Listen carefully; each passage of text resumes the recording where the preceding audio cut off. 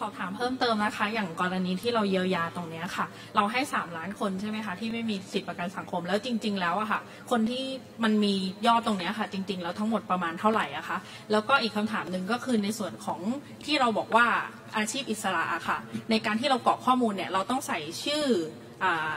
ข้อมูลส่วนตัวใช่ไหมคะ อาชีพแล้วก็นายจ้างอย่างเงี้ยค่ะ อาชีพอิสระอย่างแม่ค้าหรืออะไรตรงเนี้ยเขาไม่ได้มีนายจ้างเขาเป็นนายตัวเองตรงนี้เราต้องกรอกยังไงคะขอบคุณค่ะ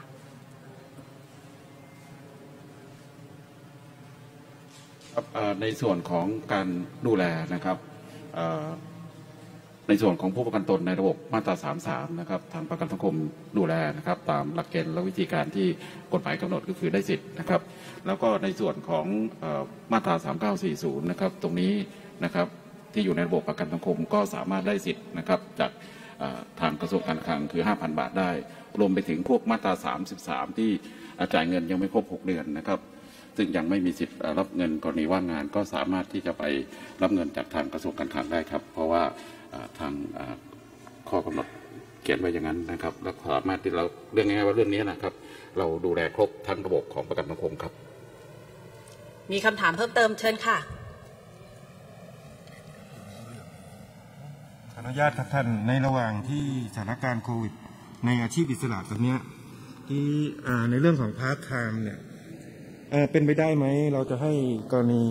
นักศึกษาจบใหม่ในเรื่องงานพาร์ทไทม์เนี่ย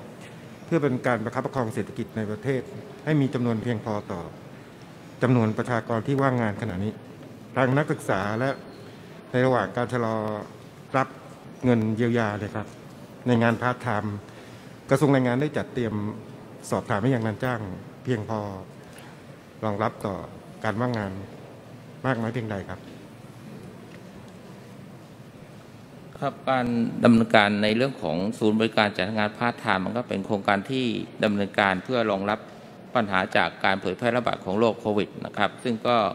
เป็นการตอบสนองความต้องการของนายจ้างนะที่ต้องการปรับเปลี่ยนรูปแบบในเรื่องของการจ้างงานนะครับ จากกรณีจ้างงานเต็มเวลาเป็นพาร์ทไทม์เพื่อรักษาองค์กรให้อยู่ได้นะครับ นอกจากนั้นแล้วเนี่ยก็เพื่อเป็นการช่วยเหลือผู้ว่างงานที่จะเกิดสถานการณ์นี้เช่นเดียวกัน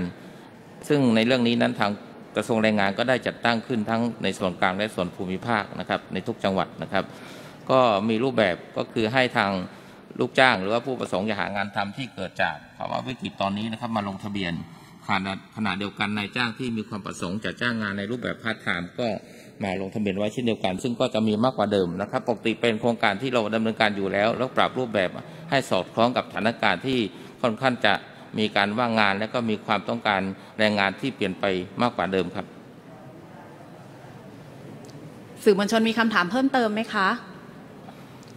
ลำดับถัดไปนะคะ ขอเป็นคำถามจาก Facebook Live นะคะ มีคำถามเข้ามาเยอะมากนะคะ มีทั้งเกี่ยวข้องกับในส่วนของกระทรวงอย่างเช่น กรณีที่รัฐบาลไม่ได้สั่งปิด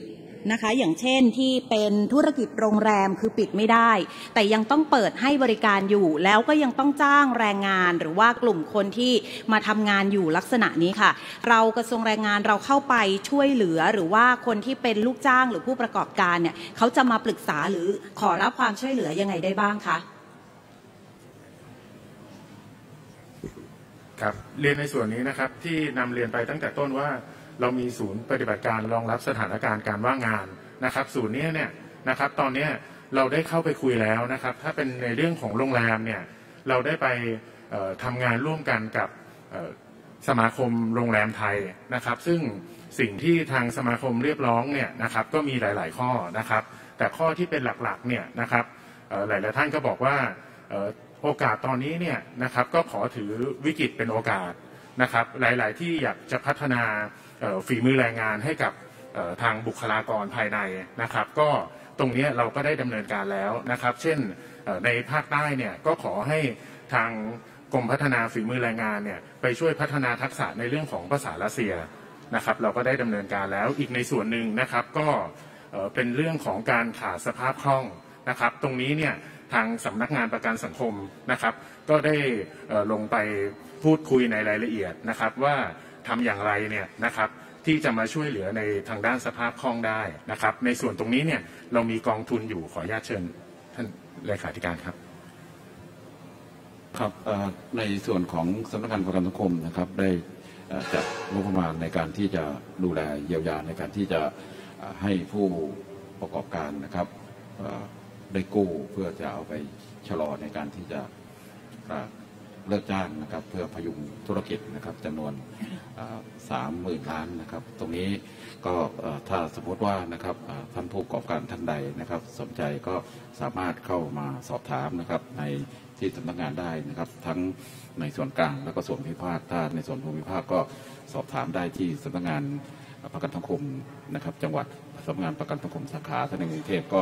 ที่ส่วนกลางเลย หรือที่สำนักงานประกันสังคมเขตนะครับ เรื่องนี้นะครับเราพร้อมที่จะดูแล แล้วก็เต็มที่ในการที่จะดูแลพี่น้องประชาชน แล้วก็ผู้ประกอบการครับ